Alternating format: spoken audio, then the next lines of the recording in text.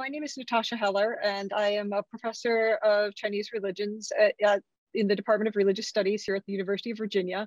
And I'm very happy to welcome you to the virtual experience of the East Asia Center uh, here at uh, UVA.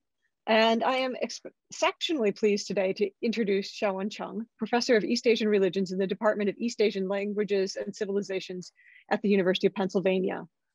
She received a BA and MA in Chinese language and literature from National Taiwan University and her PhD in history from the University of Washington. She is an intellectual and cultural historian focusing on China from the 10th through the 13th century. Uh, and her research interests span gender and sexuality, medical history, religion, and anecdotal literature. She brings all of these interests together to brilliant effect in her Divine, Demonic, and Disordered Women Without Men in Song Dynasty China, published by the University of Washington Press in 2021. Looking at writings from the Song Dynasty, Professor Cheng examines how elite men tried to make sense of women who refused to submit their sexual bodies to men. The women Professor Cheng considers were seen to suffer from uh, disorder, and some were said to have inter intercourse with ghosts. All of this makes for a fascinating reading that illuminates gender and sexuality in middle period China. Highly recommend that you read this book. Um, Professor Cheng has published in journals such as Asian Medicine, Asia Major, uh, the Journal of Chinese Literature and Culture, and the Journal of Chinese Religions. She is currently at work on an edited volume on the cross-cultural exchange of medicine um, across Asia and a new book project on concepts of norm and normalcy in pre-modern China. Today, she will be speaking on sexuality during this period, and her talk is titled Writing a History of Sexuality for Pre-Modern China, some methodological reflections. Please join me in a warm welcome to Professor Cheng. Thank you so much, Natasha. Thank you, Brian, for uh, organizing this and uh, and uh, inviting me, and thank you for pushing me to um, to go to a direction that's uh, uh, a lot of things that I started to think about when I wrote the book, but uh, not included in the book um, at all. And uh, thank you everyone for coming to, to the lecture. Um, and I really look forward to, to um, hearing your, your uh, feedback because this really also is a work in progress. So let me share my screen. Uh, and uh, if anything goes wrong uh, during the, uh, the share screen presentation, please uh, please speak, speak up because I may not be able to see chat uh, during the screen sharing mode. All right, so um, my title today is Writing a History of Sexuality for Pre-Modern China, Some Methodological Reflections. Now, um, so I would, I would do quite a lot, a lot of it is um, kind of literature review, um, but I will also uh, discuss some examples uh, using primary sources and kind of uh, testing the, the possibilities here.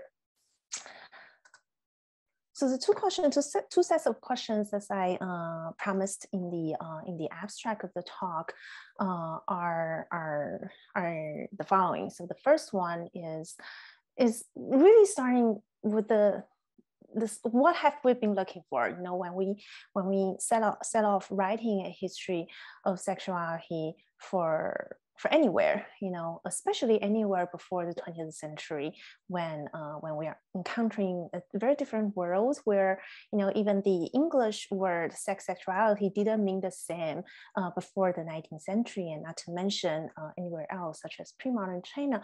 What exactly have we been looking for? What do we decide? Uh, what is relevant? What is not? Is it is it just readily transparent? It's just um, you know, we know it, we know it's sex when we see it, or do we do we second guess um, what exactly is, is the source really about?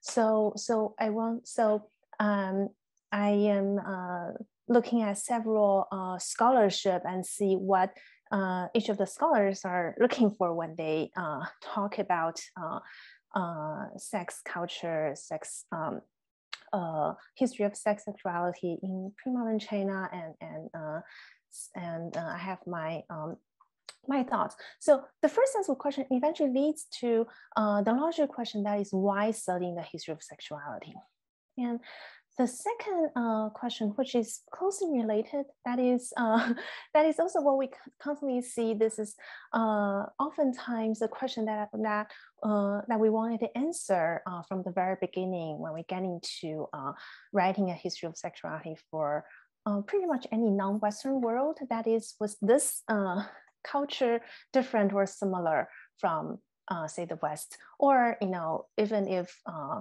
it's we don't use uh, the West as a reference point, uh, was pre-modern China, for example, different or similar from other cultures or societies that we uh, think we know better? So these uh, this question can lead to the larger question is why why comparative history is worth doing and how uh, we can start doing it, especially uh, with a comparative history of sexuality. Now, uh, so I will start with the first question. What have we been looking for? I, uh, so when, uh, when looking for what we've been looking for, uh, I have three major observations, uh, especially in the uh, surveys or uh, introductory pieces of history of sexuality in pre-modern China. The first one is what I called uh, a kind of retrospective sexology. Uh, now we know sexology is a uh, unique late 19 early 20th century way of scientifically analyzing people's sexual practice and habits. Uh, sets up standards to evaluate whether uh, a certain sexual practice is healthy, normal, or is it deviant, is it perverted, pathological, or uh, is it oppressed? Uh, I call it retrospective sexology when such an approach is applied to history. Uh, and the second observation that I have is uh, what I call a kind of censorship hypothesis. Uh, and I'll explain that. And the third one is uh, how we tend to take sex as a given. So I'll start to explain the first one, retrospective sexology, and it's probably the easiest to use uh, Robert van Gulik as an example. Uh, by now, we all kind of recognize how he is a uh, heavily influenced by uh, by sexology, and uh, he was also called uh, or labeled an Orientalist, criticized as an Orientalist. by by scholars for reasons I, I would also I would not disagree. Uh, here uh, I give you some uh, very interesting background of Van Gulik's works on sex in ancient China, which uh, is mainly relied on uh, the research done by Paul Goldin and Leon Rocha. Some of those, because uh, I know every uh, sinologist are, are every sinologist is, is, familiar with Van Gulik, but may not really know those interesting details. Um, so uh, so he's the, the pioneer of uh, uh, pioneer scholar who uh, wrote uh, two major works on the history of sexuality of pre-modern China, the erotic Prints of the Ming period, sexual life in ancient China, and the the second book, uh, Sexual Life in Ancient China, was in fact a part of uh, Sexual Life series, uh, which was published from the late 1920s uh, all the way uh, to the 60s. Uh, I'm not sure if that continued, but it, started around that time. And so before, before Sexual Life in Ancient China, they also published sexual life in ancient Rome, sexual life in ancient Greece, sexual life in ancient India, etc. So it's you know it's a part of that those series. At first, uh, uh, went to Joseph Needham for this uh, this volume, and Joseph Needham recommended Van Gulik to do that. Uh, and he he wrote to so Needham wrote to John Carter, who is uh, one of the directors of Routledge, saying that Chinese sexology, well, you see the keyword here, so I don't need to argue that uh, they are doing uh, kind of historical sexology. Uh, Chinese sexology was of an extremely healthy, humane, sorry, uh, typo humane and non-sadistic uh, character comparing favorably with the sexual theory. And you see a comparison here, right? So you always have, so you have a comparison almost always there, comparing favorably with the sexual theory and practices of other Asian people, and indeed with all other peoples in the world. Now, uh, and um, and Van Gulik uh, shared that uh, vision. And actually, Van Gulik didn't quite share uh, Needham's uh, evaluation of, uh, of the sources that he sees, especially the, uh, the bedchamber art manuals uh, initially Van Gulik's view, viewpoint of those are quite different from Joseph Needham's, but he was convinced by Needham, maybe because because he thinks Needham is a more uh, legitimate uh, sinologist. So he was convinced, and uh, and in the uh, in the preface, he uh, uh, in the preface to Sexual Life in Ancient China, Van Gulik says. Here quote, for writing that preface, I needed uh, some knowledge of ancient Chinese sexual life and habits. Uh, so this reference, this preface refers to the preface to erotic color prints of Ming period, the first uh, book on sexuality, uh, uh sexuality. Uh, he said, in my Chinese studies, I had till then always shirked the subject because I felt that this was a field best left to a qualified sexologists. Um, especially since I had gathered from casual remarks in older and later Western books on China that pathologia sexualis was largely represented there. Uh, I had to set right um, foreign misconceptions regarding sexual life in ancient China. Now, uh, so you see very uh, similar tones and similar approach and similar goals that uh, Joseph Needham and Irish Van Guliks are uh, trying to do. And um, there, there are many insightful critiques of Van Gulik's works that I won't repeat here, but the point that I wanted to make with uh, the rest of uh, the following several slides is that uh, is that no, we don't tend, yes, we don't tend to make this kind of evaluation anymore. You rarely see people, uh, and of course you don't see people identifying what they do as sexology very much anymore among historians.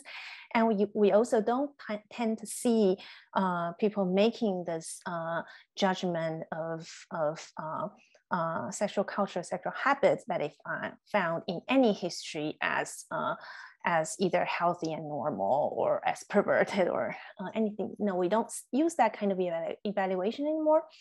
But we still tend to think uh, that uh, people's sexual practice and habits are or are supposed to be the main subject matter for a history of sexuality. And this is, I think, what uh, current scholarship has in common with uh, Van Gulik's scholarship, even though we can recognize some of the things that we no longer uh, agree with. So so the first example is uh, Bret Hinsch's uh, book on uh, the male homosexual tradition in China. Uh, it's um, it's published a, a long a while ago, uh, and and it was a um, also a pioneering, very important uh, work on on all the references, or a lot of the references to male same-sex relations uh, in traditional China. And in the introduction, uh, Bret Hinsch recognizes the, the lack of evidence. Okay, so he says in all periods, like you outnumber uh, surviving records, making systematic uh, social history almost impossible. So rather than study people, I have been forced to concentrate on uh, the homosexual tradition itself. And by the homosexual tradition, he means uh, the tradition of writing about sex between men. So, um, so in his observation, there's a continuous tradition that people continue to write about uh, sex between men, although we don't know if there is a continuous practice uh, in Chinese history. Uh, so, but the, the assumption here is that we wish we have evidence that tells us what people actually do. And we wish we have evidence that that that tells us the um, the so-called social history that tells us people's sexual lives, people's sexual practices, people's habits. Um, in a word, we, we wish that we have the raw material that we can do something like a sexology or a sexual ethnography. So although, although, and if we, if, uh, you know, when I keep reading the, uh, the introduction, although from the very beginning, uh, he recognizes uh, the lack of evidence. Uh, he quickly kind of falls back uh, into a, you know, what I would call a retrospective sexual ethnography. That is in the first paragraph that I cite here, he's, he's looking for uh, the, uh, the physical forms of, of uh, uh, male homosexual uh, practice in the written sources. He says, on the physical level, surviving literature depicts anal intercourse as the preferred form of homosexual intercourse. Among the references to homosexuality that mention explicit sexual positions, anal intercourse is the most common by far. References to mutual masturbation uh, da, da, da, are relatively rare. Now, there's no obvious mistake here. He's telling us what he finds in the sources.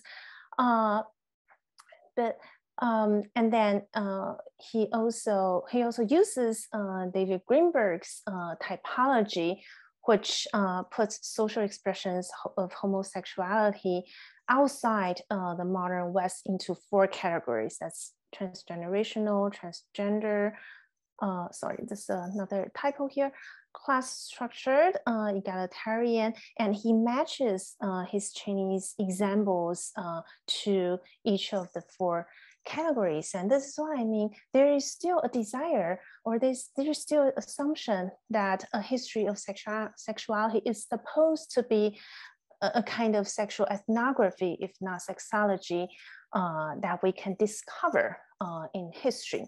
And the reason why we don't always do that is not because we have a uh, sufficient thorough um, reflection on this, this very assumption, uh, but because we don't think we have enough evidence.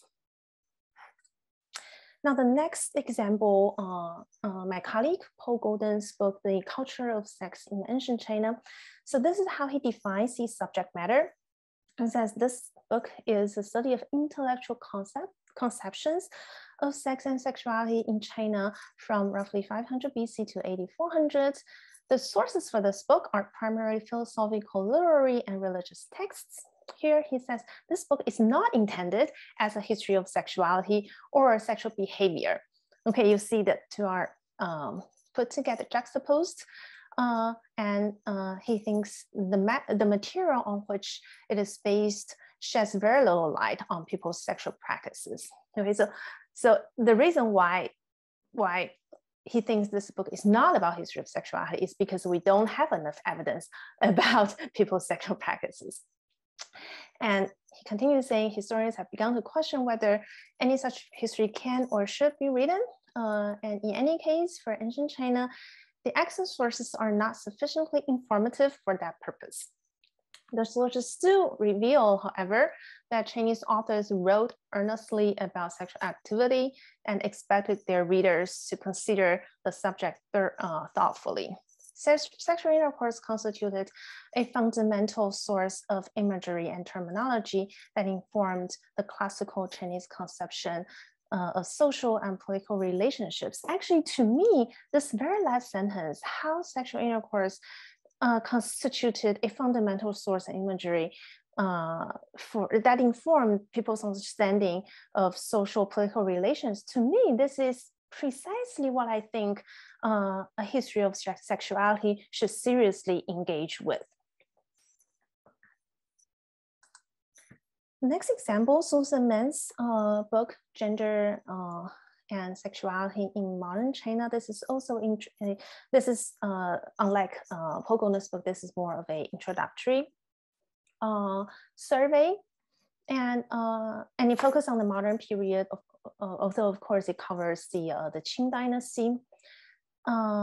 In the introduction, again, it says, in, in the very beginning, I, I believe it's the opening of the introduction. Uh, it says, does sex have a history? Almost any teenager going with a parent who still lives in the dark age would assure you that it does. But the history of sex is surprisingly difficult to study. Actually, I don't find it that surprised, but uh, uh, it's, it's just so. Uh, Susan Mann thinks it's surprisingly difficult, but the next author that I'm going to introduce you, he thinks it's not surprising. so, so it's very difficult. Why? Because of the lack of evidence. Okay, this, this is what I've been um, uh, this kind of uh, repeatedly observed in recent scholarship. Uh, that the history of sexuality should be about something, and we don't have enough evidence for that something, so we we move on study something else. Most people keep their keep their sex lives to themselves. What people write down, publish, and circulate may be sexual fantasies or invention uh, with plot lines designed to sell copy, which I believe specifically refer to uh, Ming especially Ming literature. The evidence can tell us a lot about what people like to read or watch or imagine, but little about what they actually do. So now here is I this this tells us what uh, uh, perhaps what Susan Mann thinks that what uh, what history of sexuality ideally uh, should be about had we have enough evidence. Ironically, the most reliable evidence for history of sex is the mass material uh, is the mass of material by government officials, religious leaders, parents, doctors, and so on, telling people what not to do. Uh, we can be certain that some people were doing some of that. Um, okay, the next example by Howard Chiang. This is in uh, Sexuality in China, uh, that uh, uh edited volume that Howard Chiang uh, edited in the uh, introduction which is titled Writing the History of Sexuality in China. Uh, here uh, he says, uh, it is not surprising that uh, surviving documentation of human sexual experience from the past is scattered and incomplete. Now, I'm curious why he finds it not surprising, right? Because Susan Mann thinks it's surprising. Uh, he says, when people disclose information about their sexual lives in a factual matter or metaphorically, public record, usually censored. Uh, this is what I'm going to uh, connect to my next observation, the censorship hypothesis. Usually censored in one way or another, rarely captures the true extent of what happened in the bedroom or elsewhere. Okay? Uh, so this poses a significant different degree of methodological difficulty for study of history of sexuality. Uh, Furthermore, different social groups leave behind the, uh, disproportional measures of historical voice, making it a challenge to deduce broader generation, uh, generalizations about erotic desire and sexual practice in a particular region or a given time period. So the um, the scholarship that I have shown you, uh, the, the more recent ones, uh, um, not in the same generation of Van Gulik, uh, everyone's aware of some of the problems in uh, in, in Van Gulik's work, uh, but the recent, recent scholarship share kind of the uh, the, the, assumption that uh, that history of sexuality should uh, first and foremost about a history of people's sexual practice, which is precisely what uh, Van Gulik was looking for as well, except we disagree uh, with Van Gulik that his source can actually tell us anything uh, uh trustworthy about people's sexual practice. But we don't disagree, uh, not yet, about his, um, his assumption that history of sexuality should be first and foremost about people's sexual practice. Now I want to move on from here to my second uh, observation, that is the censorship hypothesis. That is when we talk about the lack of evidence. Uh, there's some uh, uh assumption that the reason why we don't have enough evidence is because of some kind of censorship, either uh, politically or ideologically from the government or from uh, uh, the new Confucians, the, the easiest uh, um, straw man to uh, to to uh, to call for uh, the source of oppression. And we have seen such narrative in Van Gulik scholarship already, and we still see some of it in recent scholarship, the what I cited earlier, and also in uh, Weijing Lu's uh, introduction to uh, this special issue in Journal of the History of Sexuality, uh, focusing on Chinese history. Uh, she cites Van Gulik rather uncritically. She writes that Van Gulik attributed disappearance of these texts, which is the, uh, the, the art bedchamber texts, the ancient Chinese sexual manuals, to the censorship of new Confucian ideology, which dominated the last centuries of imperial history. He argued that uh, after the 13th century, Confucian Puritanism gradually restricted the circulation of literature of this genre. Now, I am not saying that this is uh, absolutely wrong. I'm not saying that there was no censorship from government or uh, uh, politically or ideologically, but uh, but the censorship hypothesis uh, obscured many other uh, explanations, and some of them even maybe more convincing uh, or more important uh, historical factors or uh, some of the uh, historical factors that's even uh, that we haven't uh, considered enough yet. For example, you know, before for example, print technology and publishing this, the condition of, of uh, textual circulation uh, for example, before the uh, you know the revolutionary uh, print technology and the emergence of publishing industry, writing was so expensive. And do you really want to use this, for example, this very valuable piece of silk or this super heavy scroll of bamboo strips just to write about how you fold your toilet paper, for example? So you know when we don't see that people talk about something uh, that we want them to talk about much enough. Maybe it's because the expense of them writing about that all the material resources that I have together uh, doesn't uh, kind of outweighs the significance of that subject matter to people's minds. Not necessarily there is a government or there's some kind of um, uh, ideological uh, ideology that prevents them from doing that.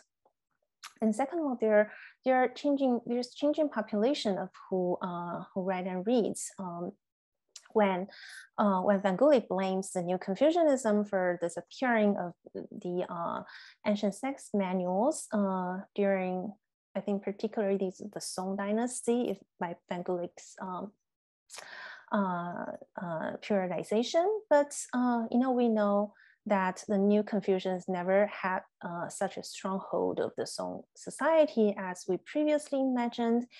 And also uh, the bedchamber arts, uh, those you know, sexual manuals for uh, uh, people, especially men's bodily cultivation, those technologies, those skills were perhaps no longer that relevant to most Song elite people because uh, very few people could still afford such a lavish practice anymore. Um, so there are many possible explanations out there that uh, I think many scholars have considered all I have just said. I'm just uh, uh, uh repeating some of that because uh, I think there are important factors to consider.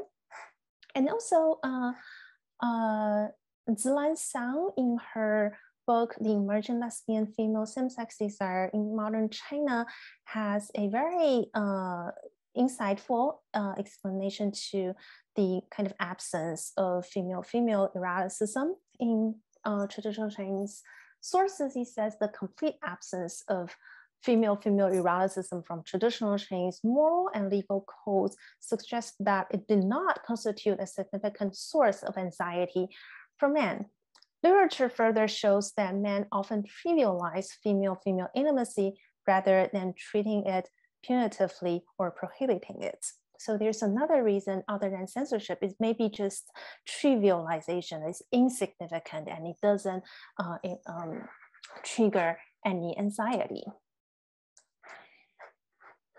So, so and, and finally, I want to emphasize the um, the uh, the the epistemology as uh, as a factor.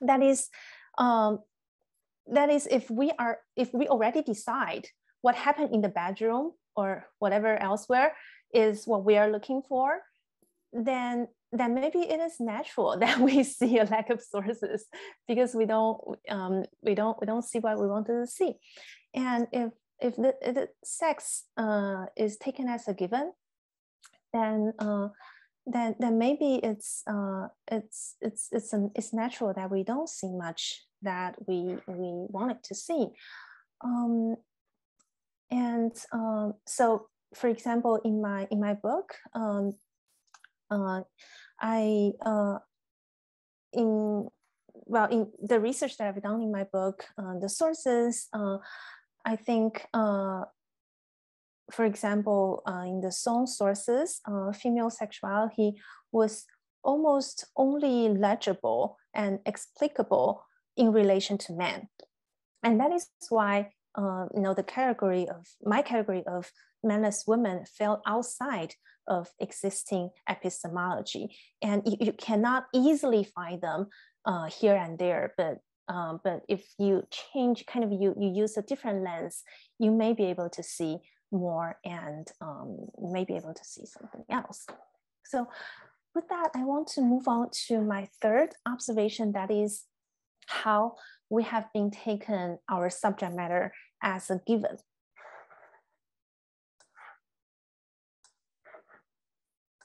Um,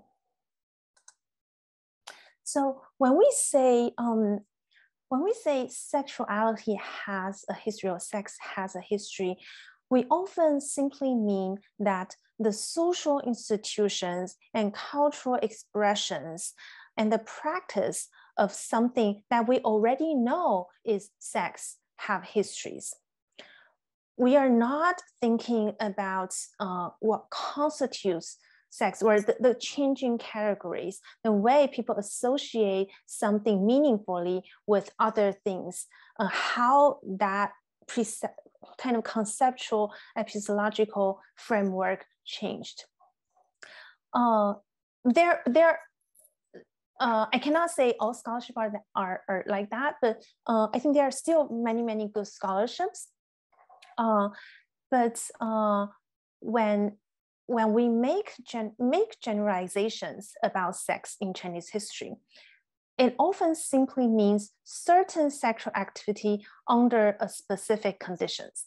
So I want to again give you some examples how uh, we use just sex to refer to, uh, we use a general term sex to refer to just uh, actually certain activities specific conditions which doesn't mean that those scholarships are not valuable. They are valuable in their own rights and in different aspects. It's just uh, I'm I'm uh, nitpicking about the uh, the term sex that's used uh, for my own purposes. So uh, Susan Mann's uh, book that I mentioned earlier, she says in the in in a sentence, I, I will give you the full paragraph of the sentence later, but here, in a culture where sex was never coupled with sin, and, and then he, which is in a culture which refers to Chinese culture. In Chinese culture, sex was never coupled with sin, and by sin, he, she's referring to the Christian concept of sin. Now, uh, well, you know, some, but yes, some, yes, there, there's nothing uh, if by this, there's nothing that is coupled with the Christian sense of sin in Chinese history because there was no Christian concept of sin in Chinese history. So it's almost like saying nothing. And uh, but if you are you want to say that sex was never uh, all forms of sex was never condemned severely in Chinese history, I think that is an exaggeration because some forms of sex can definitely be severely punished. For example, wife's adultery a man having sex with the wife of a superior man, etc., it can be severely punished with or without being coupled with the Christian sense of sin. And uh, Weijing Lu's uh, introduction to the special issue, he mentions uh, the two, there are uh, two major sects of erotica from the Tang Dynasty uh, uh, that uh, I think Yao Ping studies that in detail. he says the two texts are regarded as manifestations of Tang, Tang society's openness with regard to sex. Now here, sex too. The two Tang Dynasty erotica only manifests Tang society's openness to elite men having sex with those who are not the wives of other elite men. So this is another kind of generalized use the term sex to, to make us feel like, oh, the Tang society was so open with, to, to sex, but that is not probably the most accurate picture. And uh, Paul Goldin's, uh, this is a, also a kind of uh, brief introductory piece that he wrote for uh, the International Encyclopedia of Human Sexuality. He says, sex was usually treated openly uh, in, in ancient China specifically, even by today's standard. Ancient Chinese writers discuss sex seriously as one of the most important topics of human speculation.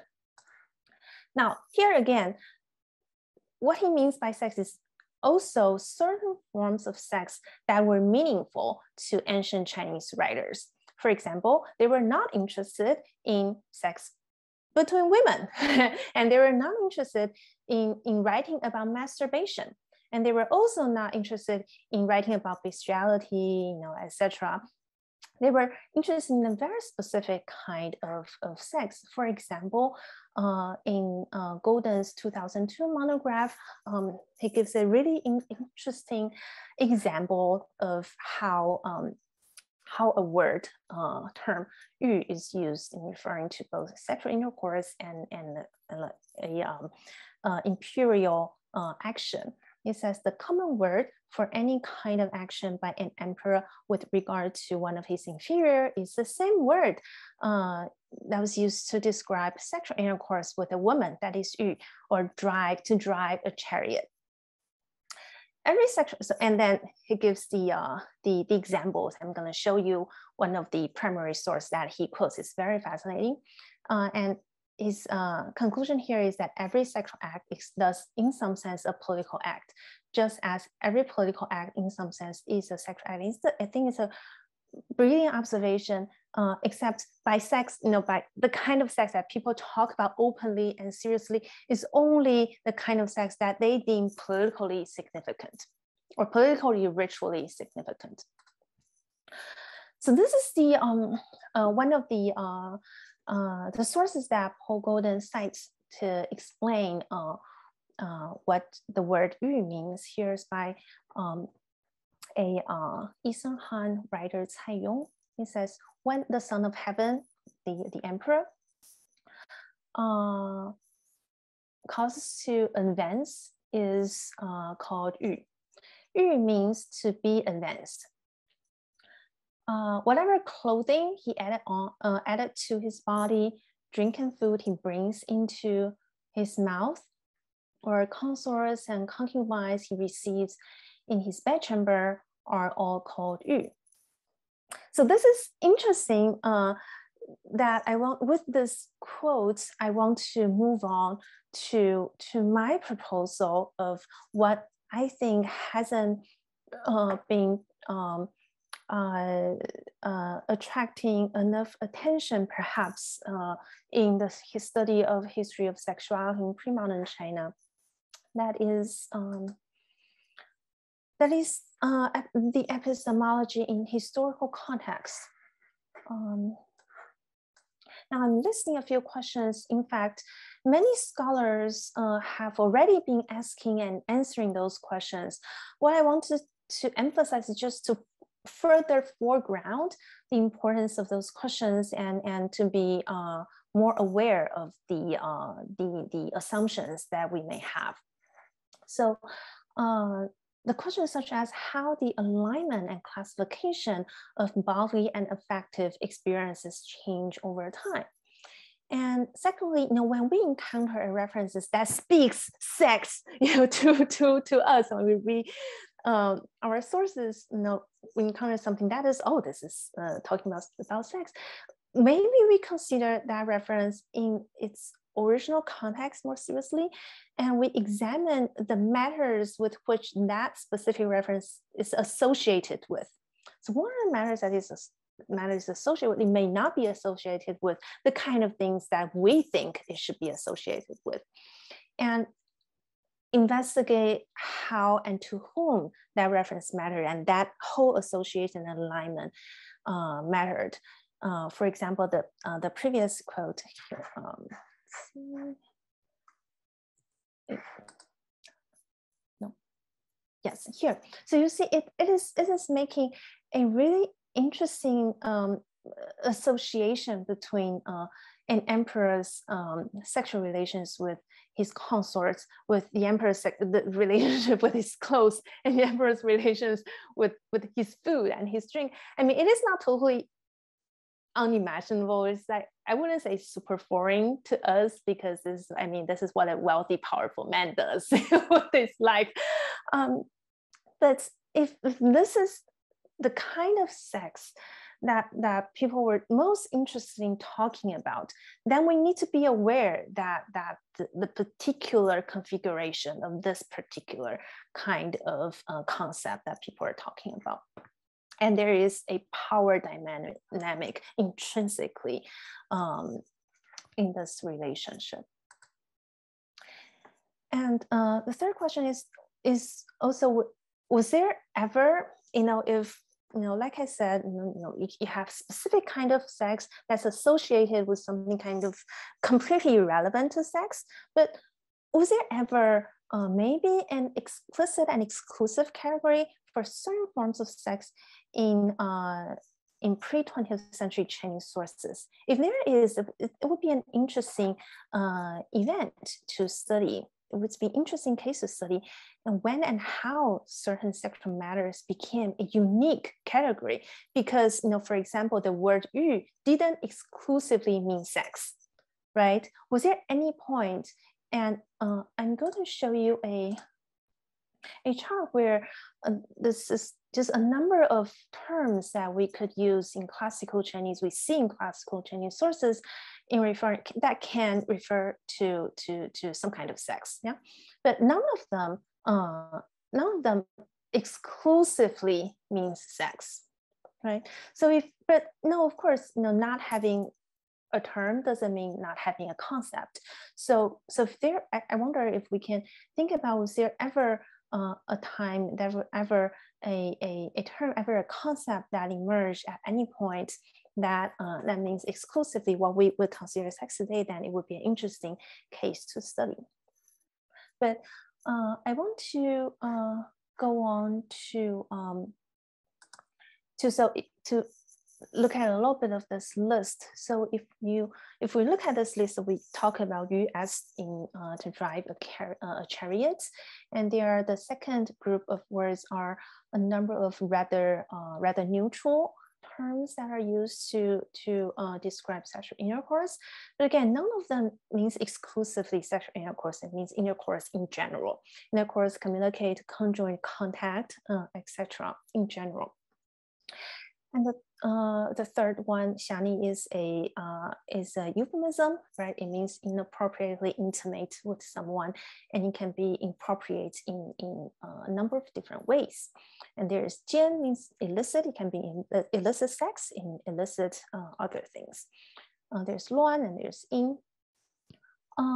so if if just based on those terms, you we see that the reference to sex is always very, very contextual. You have to have a whole sentence, if not a whole passage, to figure out, oh, this they're talking about sex. So a sexual reference was not always or was rarely distinguished in nature from uh, other from non-sexual matters. So if if that's the case, then then um, then, then what do we do? And um, what do we do with our sources? So I want to go, back to, uh, to this uh, passage that, that I just showed you, which uh, translates uh, this passage by Cai Yong. I want to say a little bit of my, my reading of it. That is, you see here, it's, it's, it denotes a very, it describes a very specific relation between a supreme man and his subjects. And uh, at least in this passage, we see there's no real distinction is made between clothing, food and drink, and consorts in relation to an emperor. But I think this is not about, this is not a, a passage that says something about sex as a basic human needs, just like food and clothes. This is not my reading of this passage. My reading of this passage is that it's about what makes an emperor emperor. So it's about the political, ritual, and physical significance of an emperor's intercourse with his consort that is fundamentally different from an ordinary person. So that is why I think to, to more specifically define and to be more aware of uh, the term sex that we're using as not a generalized term is important because I think it avails those nuances that we can perhaps see in a text like this. And also, uh, we know that for those of, of us who uh, have read some of those uh, ancient Chinese erotica or uh, the bedchamber arts manuals, we also recognize this word yu because it's often used in the bedchamber manuals. And uh, so, which you know, is a common terminology used in bedchamber manuals, uh, which also tells us echoes what you know scholars like uh, Charlotte Furth have have uh, uh, noticed, have pointed out. It's the sexual the bedchamber manuals. They were ultimately about how to make a man a supreme man, uh, spiritually, physically, ritually. And we rarely see this term actually outside of the imperial context or outside of those ancient bedchamber arts with, for, some, for, for uh, good reason. And the, uh, the second uh, uh, passage that I show you here is uh, another interesting example that uh, associates uh, sex with or some kind of sex with something very, very different. Uh, that's uh, the 13th century Taoist priest uh, Wang Xichao. This is in his uh, annotation to an early Lingbao scripture. The title of the text is very, very long, so I'm just gonna skip here. It's 洞玄灵宝，自然九天生神欲长境界. Now, it's the title is not important. It's a 13th century Taoist text. Uh, it talks about the kind of eight leagues that a Taoist practitioner should avoid during their thousand day long fast. It says the, uh, the uh, your tears would leak uh, the liver or leak the, uh, the qi, the energy of your liver. Your nasal mucus, uh, mucus leaks the lungs, saliva leaks the kidneys, uh, sweat leaks the hearts, night, night sweat uh, leaks the small intestines, uh, leaks the, the energy of the sweat intestines. Uh, drooling during sleep, which I believe we all do, leaks the brain. Dreaming of intercourse with ghosts leaks uh, the shen spirit, lust. If you see original Chinese is 隐喻, uh, and in with a, a, a, with the woman uh, radical suggesting kind of having sex with women uh, leaks the body. Now, so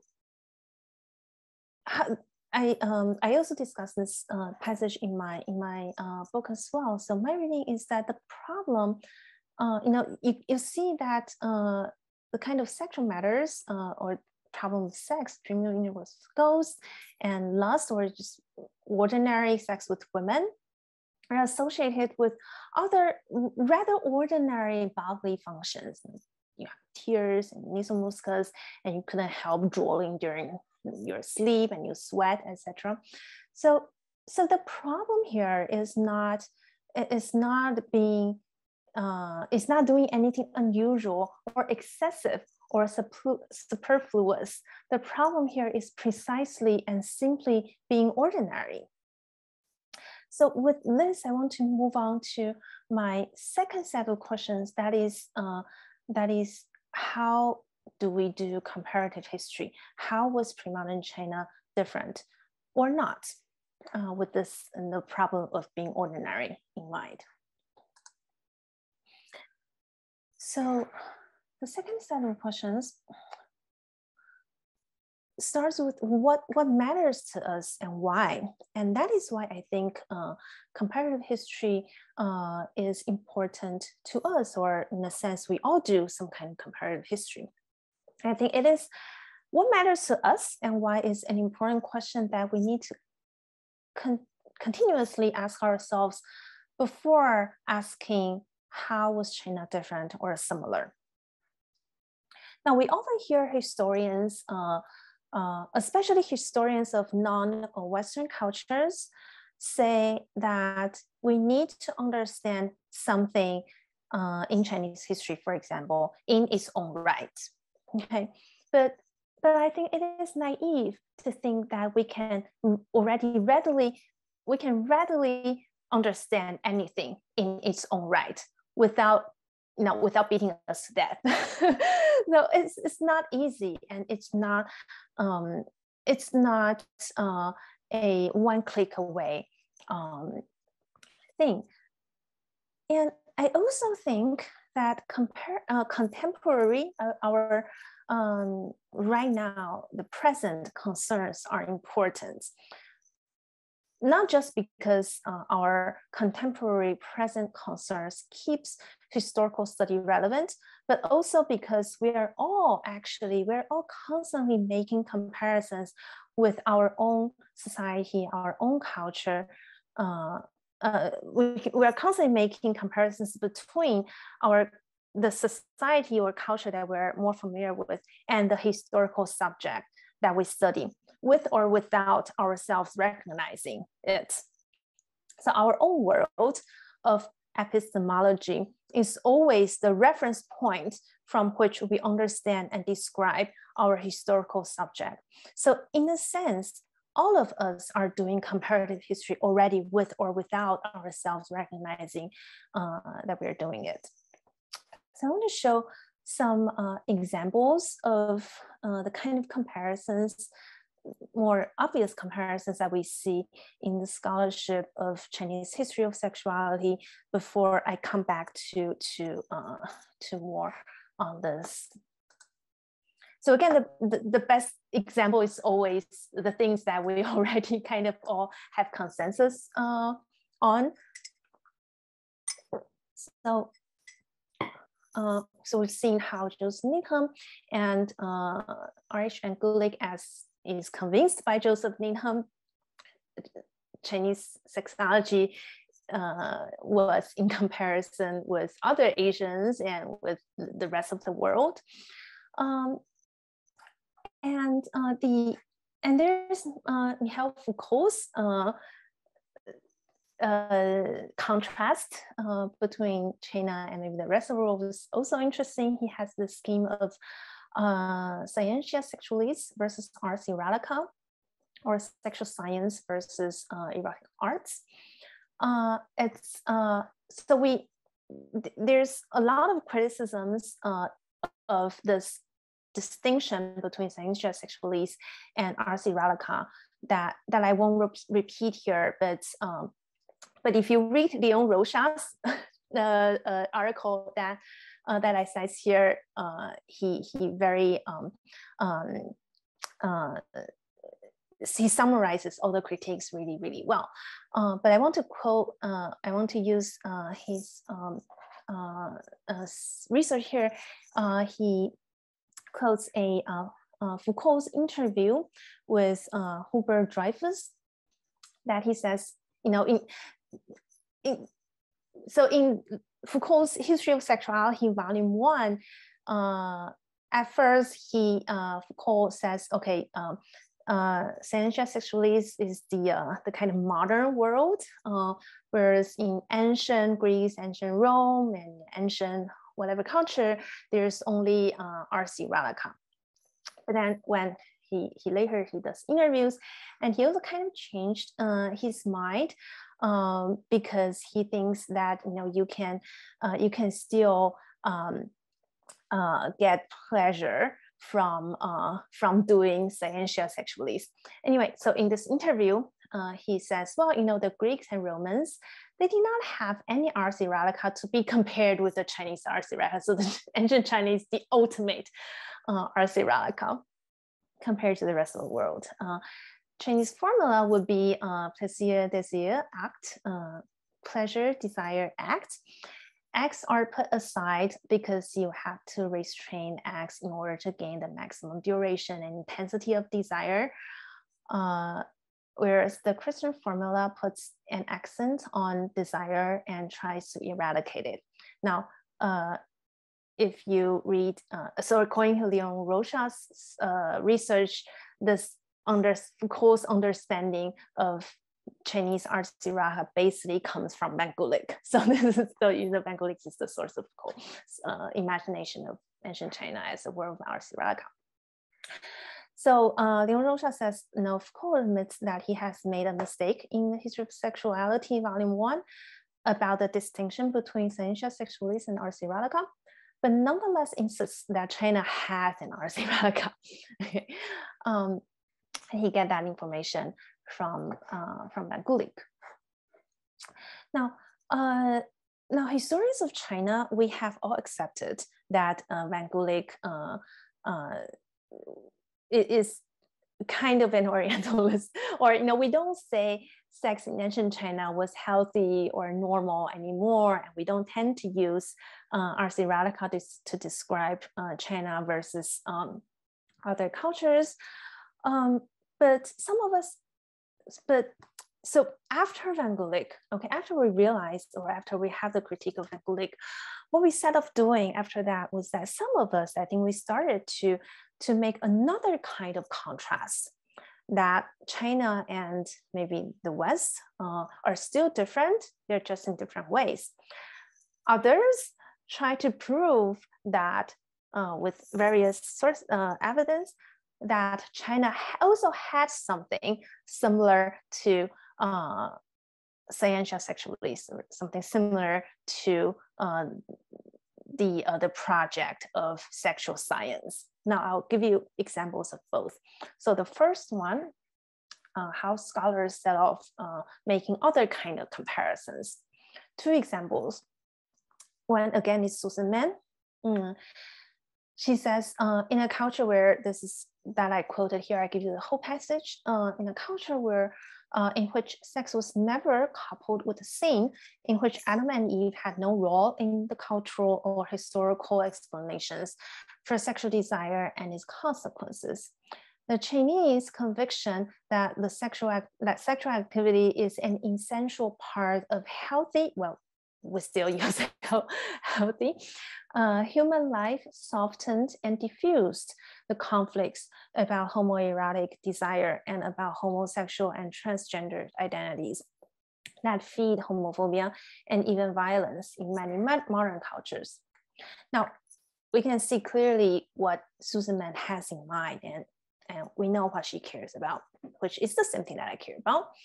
But uh, but what I wanted to ask beyond, you know, what I just when I talk about, you know, there was basically nothing that was coupled with the Christian concept of sin in ancient China anyway.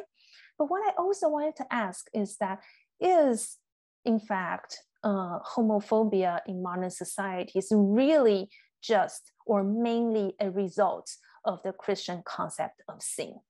Are we simplifying uh, the, the, homophobic society, uh, this kind of uh, Christian society, uh, a little bit when we are making this comparison? Are we not complicating uh, both parties that we compare, uh, but instead we kind of simplify it? Now, uh, and, and, kind of similarly, Paul Goldin uh, in his uh, 2015 article. He says there's a, a section is this titled uh, in this article is the section title is no Christian concept of sin. Uh, specific in ancient China, he says um, sex was not regarded as inherently shameful. To be sure, various powers, uh, political, religious, uh, social, everything, sought to limit the permissible partners and locations for sexual intercourse So for example, you know, you cannot have sex with like specific kind of uh, people, or you cannot have sex in sp specific locations. Uh, but sexuality, especially if not immoderate or in, was never laden with anything like a Christian concept of sin. Now, I don't, uh, I don't disagree with uh, with Goldin's statement, but uh, but I have a few uh, thoughts. Number one, if by this standard, maybe nothing was inherently shameful. It's always contextual. It's always about the uh, the partners, always about the locations, always about the context. Nothing was inherently shameful. Uh, number two, there were uh, or there are still many different interpretations of sin in the Christian tradition. So again, I think similar to Susan's case, are we simplifying um, uh, the Christian tradition uh, simply because we, we use that just as an easy reference point? Number three, if sex was not a distinct or and, and a neutral category in ancient China, how could it ever be inherently anything? Right? So I don't I don't disagree with uh, I also don't disagree with uh, Paul Goldin also especially because his subject is ancient China and it was before Buddhism came in and before uh, uh, before uh, Taoism incorporated a lot of Buddhist elements etc. But uh, in in some Taoist texts or you know the texts that were attributed to Taoist authors, um, such as the one that I showed you before, desire was inherently dangerous and destructive. And it was not excessive or inappropriate desire, it was desire itself. So if you go back to this uh, passage that I showed you before, this is uh, one example. What I mean, that the problem of being ordinary and practitioners aim for the extraordinary. And uh, a few other examples, uh, they are actually from the kind of bedchamber arts tradition that are either attributed to Taoist authors or they were uh, written by Taoist authors. Uh, the, the first uh, example is from uh, Yangxing Yanming Lu. It's attributed to Tao Hongjing and was uh, probably written between the 7th to mid 8th century. Uh, so there's passage that says pre-men separate beds from women. Mediocre men use a different blanket from women. Sleeping alone is more beneficial than taking a thousand doses of medicine. So, so, so you see the, the hierarchy is very, very clear. Well, yes, it doesn't say that having sex is shameful, but having sex with women, sleeping with women is fundamentally problematic. And Sun Simiao the uh, 7th century Taoist and medical writer, his answer to if this passage was in fact written by him, he could also be just incorporating a passage from elsewhere. But uh, the answer to whether men uh, below the age of 60 should refrain from ejaculation, uh, his answer is no, they shouldn't. Um, and he says, well, it would be the best actually if your mind is perfectly just and you have no uh, sexual thoughts at all. Uh, and yet there is not one such person even among 10,000. Uh, and uh, if you forcefully withhold and close up the jing or the essence of semen, uh, it is difficult to maintain and it's easy to fall, uh, to fail. It causes men to leak jing uh, and to have turbid urine, leading to the illness of intercourse with ghosts. The damage out of one such case equals 100 regular ejaculations. Now, my reading of this passage in Sun Simiao's um, text is not a narrative about uh, oppression versus uh, liberation. It's not about um, uh, pathology versus healthy. It's, but it's more about uh, the ordinary and the extraordinary. So he's teaching the ordinary people uh, a compromise to keep them from dying too fast. So desire or sex itself leads you to death fundamentally. So it may not be a shame, it may not be a sin, but you die out of having sex. Um, I also kind of promised to say something about Zhu Xi in my abstract, but I'm gonna skip. If we are interested, we can come back here.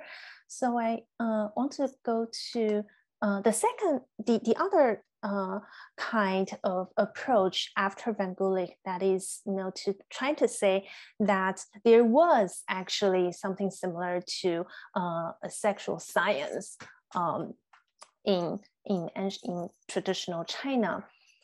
Um, so, uh, so for uh, for example, uh, Charlotte Furth in his in her uh, really important article. This is through her article, Rethinking Gulik, we realize a lot of questions in Van that we didn't before. Uh, she says the bedchamber manuals or the so-called Chinese, ancient Chinese ars erotica were not about pleasure, uh, which was Foucault's uh, idea of what ars erotica is supposed to be about, but they were concerned with the regulation of reproduction and the distinction of sexual difference. And the sexual difference was constructed around contrast in powers of control. So you need to know if a woman is enjoying the process, you need to pay attention to women's reaction because you want to control the whole process. And that is the major gender difference here.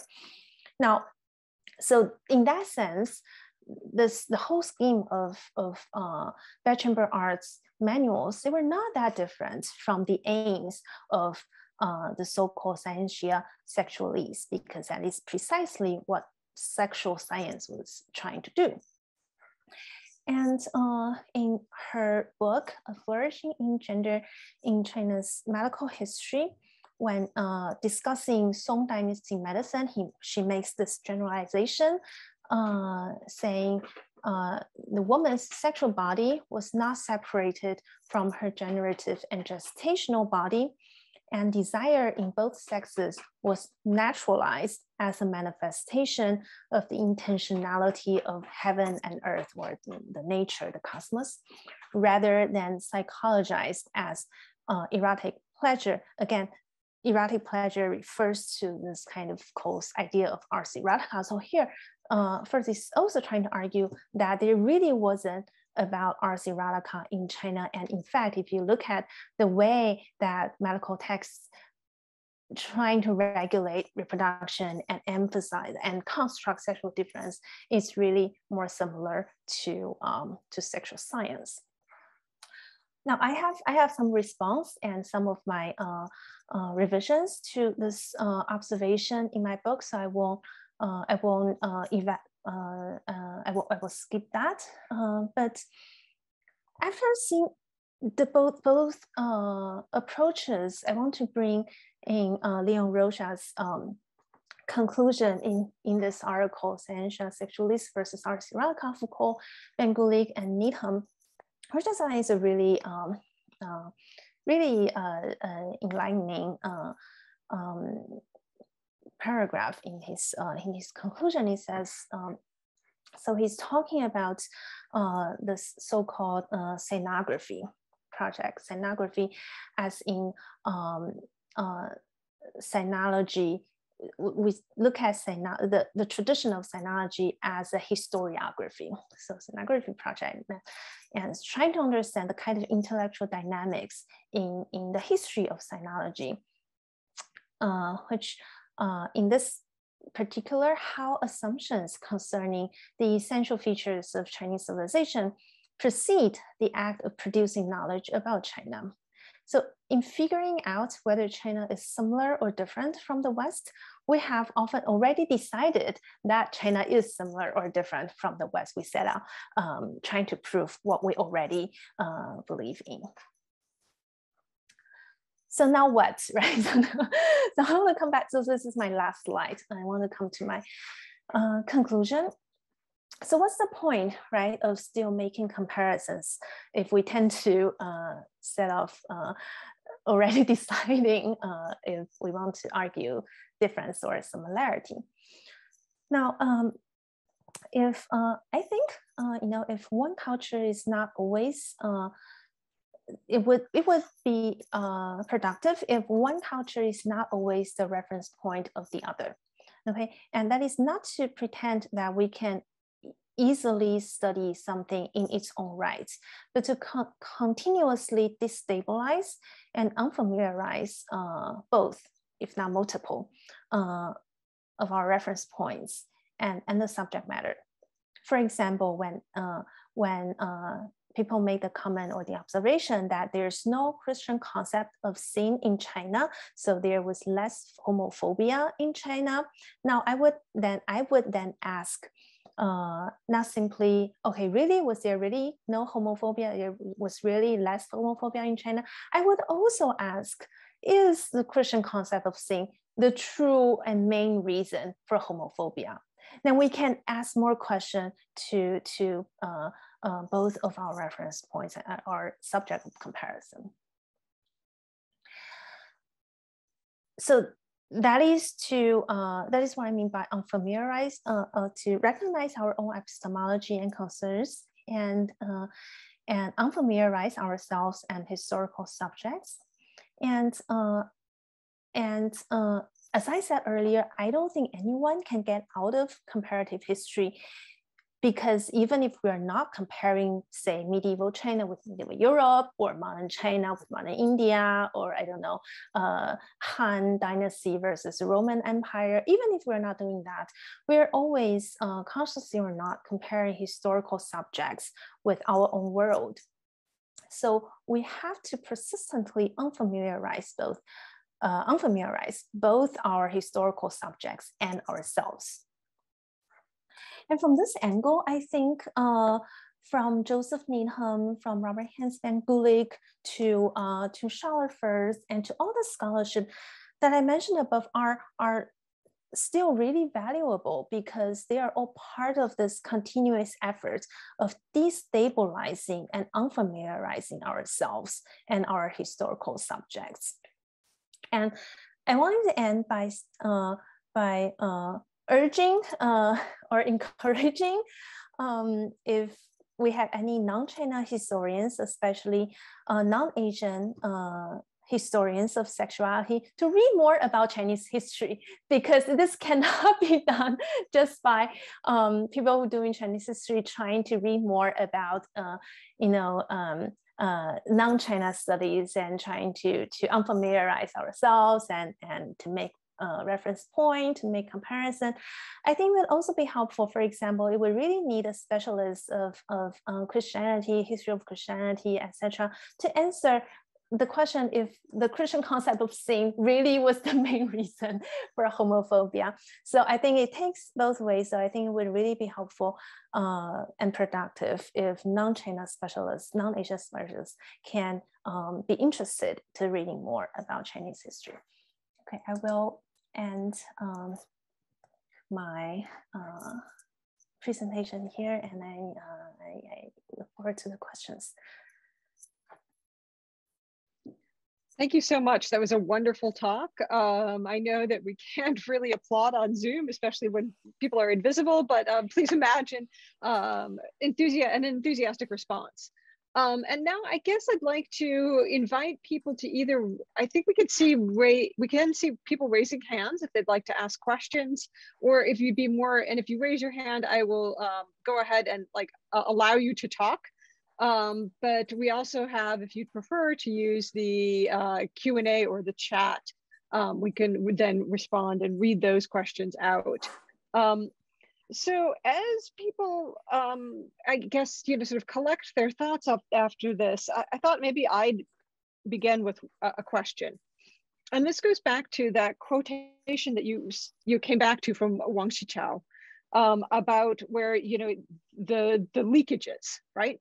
And so the first six of those leak leakages are pretty obviously physical right? It's saliva or mucus mm -hmm. and so forth um, being produced you know leaks the the brain like the saliva leaks the brain right um, and those last two i would say are essentially mental right like lust is not a a kind of physical thing so i'm wondering and i was that caused me to sort of look as you were going through the quotations about this kind of balance between um, the mental act of sex right like the lust and lustful thoughts yeah. versus mm. the actual physical act of it. And mm. I'm wondering if you could say, you know, a little bit about how these fit together, right? Because we could imagine that that you could talk about sex as being both of those things, but also perhaps just you could separate them and talk about them as like a mental act, but also just a purely mm. physical act. Yeah. Um, yeah, I can, I can share the slides again so that people have a reference. Uh,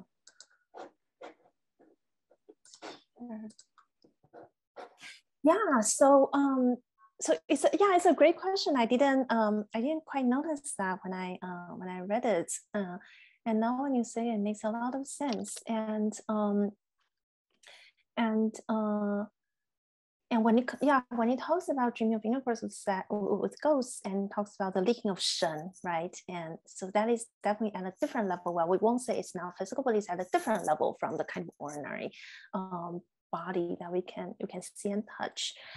And with the uh, with lust or yin uh, it's it leaks the body but then again yin is desire right? Uh, so yeah so that's that's that's really interesting. And um and i wonder yes maybe natasha maybe you discover a part where where people does you know put put some sex in some kind of different ways uh some kind of different uh category from not not completely different but then there is some uh something specific about the kind of mental obsession or kind of mental um, stress that pours into that has uh, a major physical reaction because uh, the uh, uh the result of loss is uh, shen long, right? It's the body has it's a it's a mental it's a desire it's a mental function that has severe physical uh, outcome, and um,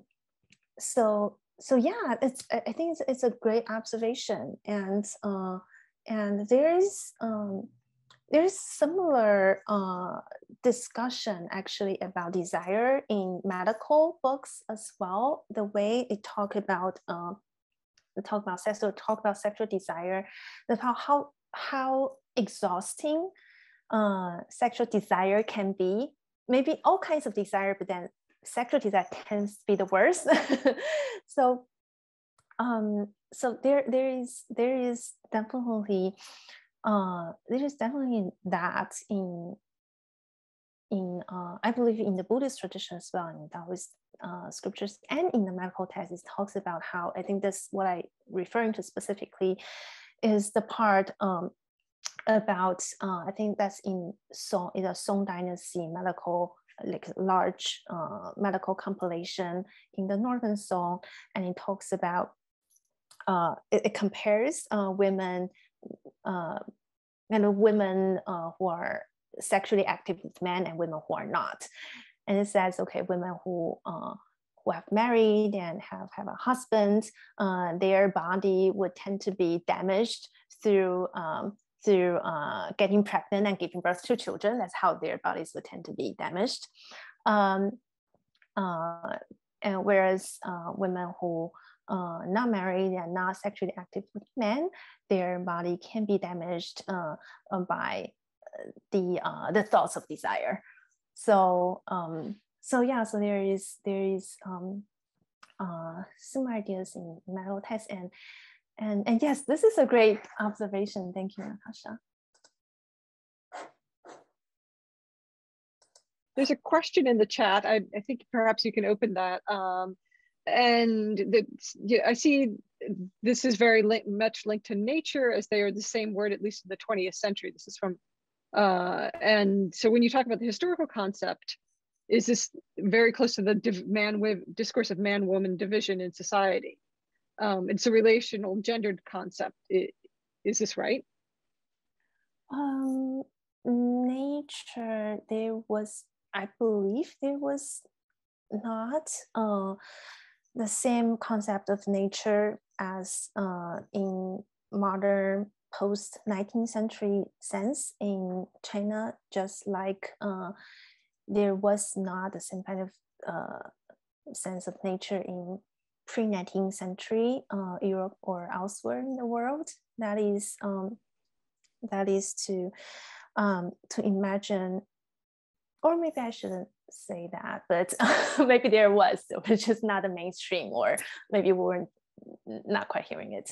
But um, that I would say uh, it, there was not a mainstream uh, notion of nature as as uh, how it means to us uh, as you know, nature as a um, a completely mechanical, neutral, uh, objective subject out there, and um, when uh, you know when we make um, observations uh, of say you know right now when we say oh something's natural or unnatural our uh, assessment a lot of times is based on this kind of quantitative uh, assessment. For example, well, while I do a survey and uh, I do um, uh, examination among 100 people, uh, 80 out of 100 people likes to have sex with the same sex. Then same sex is homosexuality is actually natural because 80 people out of 100 thinks that they wouldn't mind having sex with the same sex. Um, I think this is this tend to be what we mean by natural. Uh, but this was never the case in in uh, in traditional China, or I don't believe it's ever uh, uh the main case in, in pre 19th century um, Europe uh, in the source that we've seen, it's not about survey, it's not about statistics, it's not about what the majority of people do, which represents a norm uh, as in statistical or quantitative sense. It's always almost always a, a qualitative sense. It's always, you know, even if uh, even if only a thousand, one among a thousand, or not even one among 10,000, uh, can can do without uh, sexual desire it's still the only way around. It is still the only way to be to be liberated. Uh, only if you can get away with your sexuality. I, I, I, I hope I answer your, your question right. So it is really not about nature as in our modern sense. and so, um, mm-hmm. so I see um, Sume E has her hand up. Um, I'm going to allow her to talk and ask, or allow Sume to ask her a question.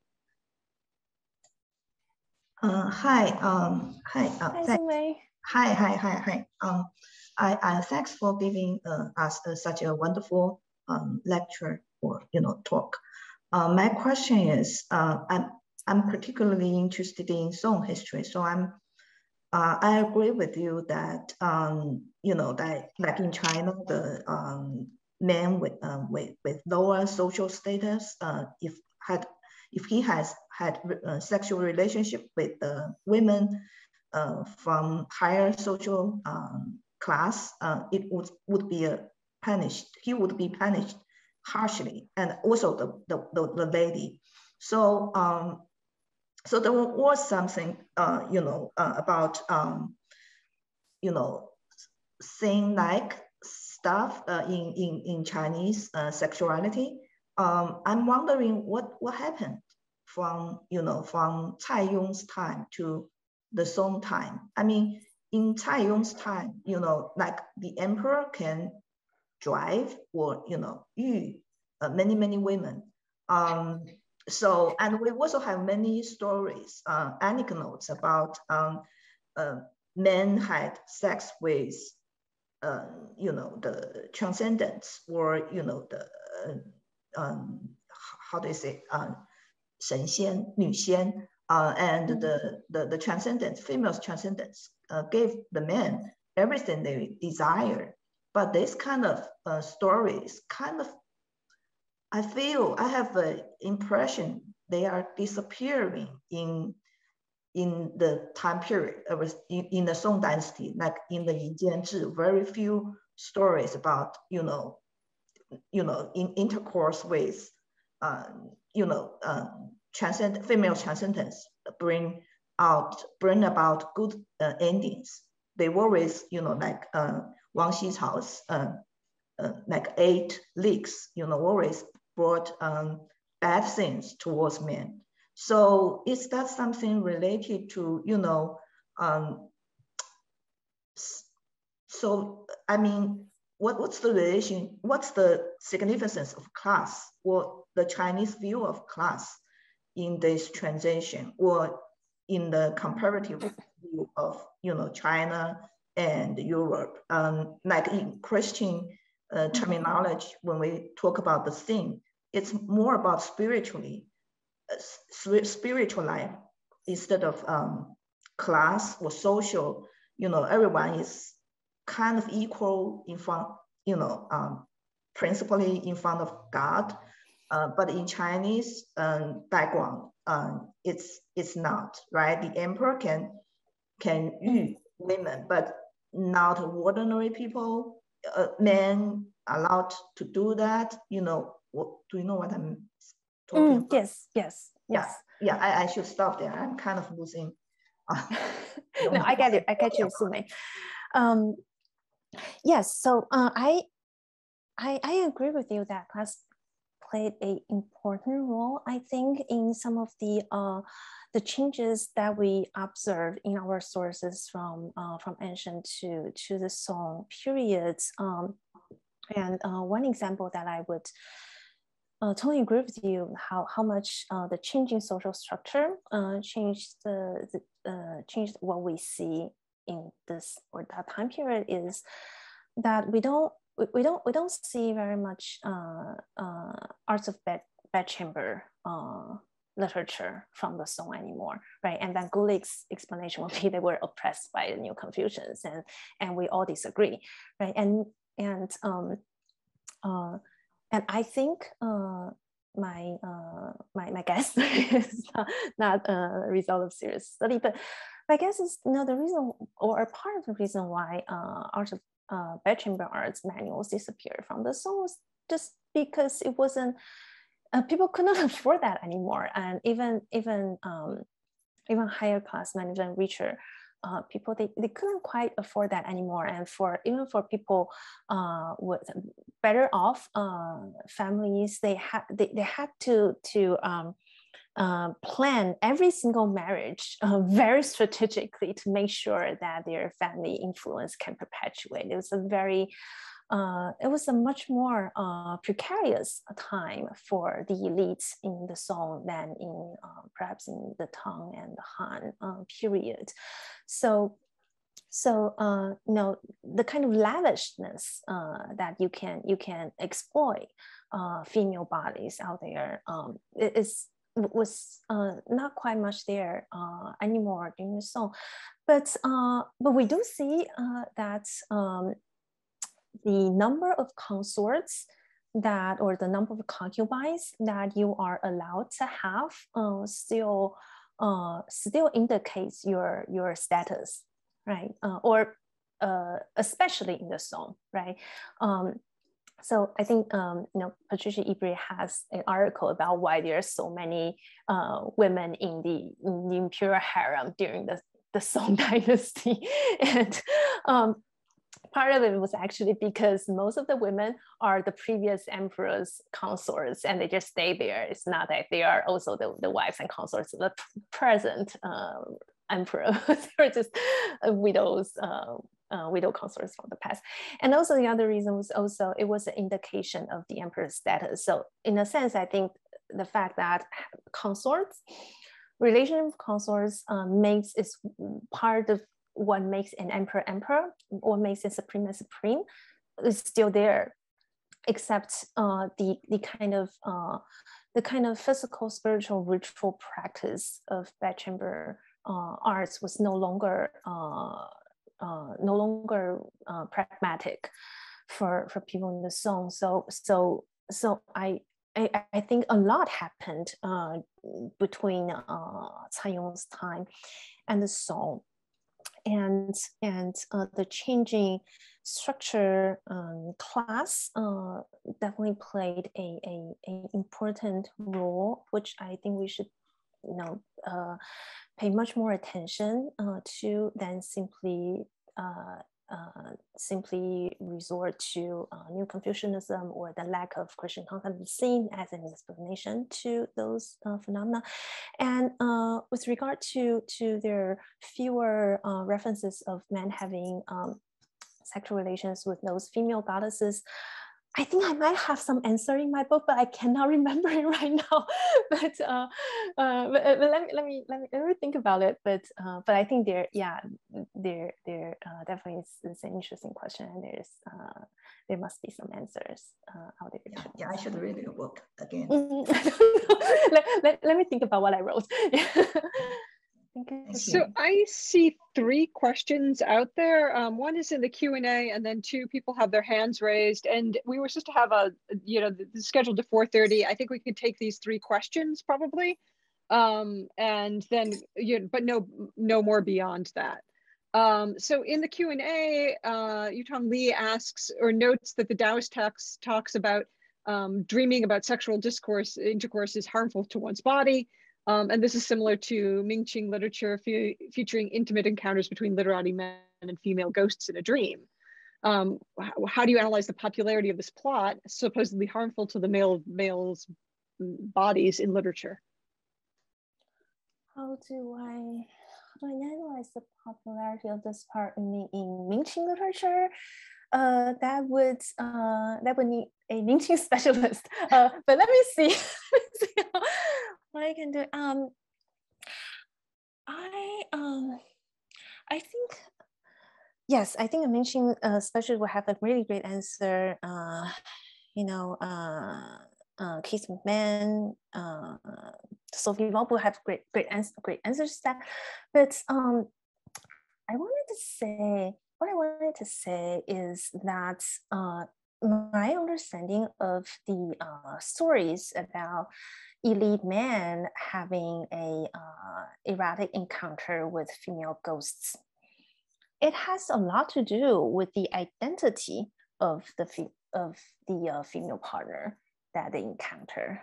Um, it would be a completely different story if they encounter, say, a female goddess or uh, a legitimate uh, wife or um, etc. But that's not what I see in some of the Taoist texts, not all of the Taoist, but some of the Taoist texts that I that I that I uh, wanted to emphasize here. It is it is not about it is not about the partners. It is not about the location. It is not about uh, the uh, the extent to which you you do it. It is about it is about um, it, it is about desire itself, and um, so it is about the the act of of uh, of your desire itself.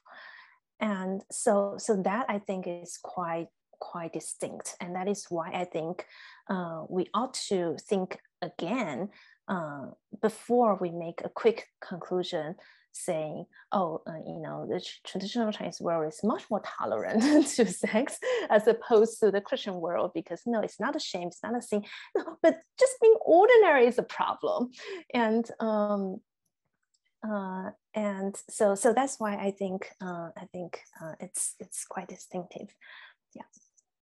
Yep. Um, I'm going to unmute Elena um, for her question. Hi, hi. Hi, Elena. Uh, nice, a wonderful talk. I was a little late, so I don't know if my Thank question you. will be relevant or not. But anyways, I wanted to follow up on this um, idea of ordinary, ordinary versus uh, extraordinary. And um, uh, so you were uh, you were talking about uh, these Taoist uh, writers and how they uh, that one specific example, but but I, I, know you have many more, um, about how um, sex is not indicated and desire, as you just mentioned, even desire is not indicated if you want to be uh, become an immortal. And so, um, and so this is like the extraordinary way that the Taoist uh, practitioner wants to follow. But I'm interested also in you maybe talking a little bit about the ordinary. So what um, uh, what what is the difference there? Uh, you know, do in medical literature, for example, when mm. when it, when sex is discussed or even desire is discussed, is there a difference? Because of course, not very many people were mm. Taoist mm. who practice these uh, practice extraordinary practices to become mm-hmm. immortals, and therefore uh, try to not uh, desire uh, or not have sex. So, mm-hmm. what what about ordinary people? Mm-hmm. Yes. Yes, thank you, Elena, for the question. And now, as I listen to your question, I think I should revise some of what I just said. Um, uh, that is, um, maybe in a sense, we can still say, um, uh, at least based on those uh, those texts that I just quote, or uh, some of the medical texts that I quote, uh, some uh, some Chinese traditions, at least if we just look at the intellectual uh, world itself, maybe are indeed quite tolerant to people's to um uh, to to uh, having sex to have sexual desires and uh, in specific ways because uh, because indeed um, uh, Taoism did not did not expect everyone to be extraordinary. It promise uh, kind of have some kind of promise sets the standard. It, indeed it doesn't doesn't expect everyone to be extraordinary. And in fact, it, it gives different uh, recipes, different solutions, uh, gives this compromise solutions for people who are not extraordinary, who bound to be bound to be ordinary, and they give these solutions that that uh, that you can still do a little bit better. You're not gonna become immortal, but then you're gonna die. You're not gonna die uh, too soon.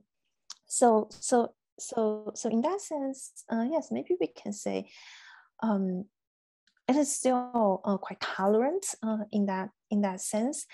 And so when it comes to medicine, uh, there there are interesting there are interesting different ways of, of looking at desire in, in medical texts uh, that in the medical text that I that I've uh, read. Uh, some of them actually, I think most of them, most of the medical texts from the Song uh, were not that interested in desire per se actually uh, some of them were and for those that uh, that specifically discuss desire had a lot to do a lot of them had a lot to do with you see a very clear uh, uh buddhist connotation in it you know how much desire exhausts you and how much that can distract you and etc it was seen a, a, quite clear uh, kind of buddhist connotation in some of the Song medical texts that um, place some emphasis on desire and many of them simply don't play that much uh, emphasis on desire if compared